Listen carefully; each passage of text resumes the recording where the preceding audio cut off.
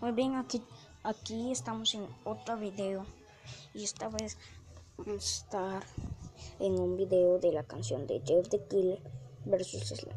Espero que les guste y no se olviden llevar la campanita y suscribirse a mi canal y darle like, por favor.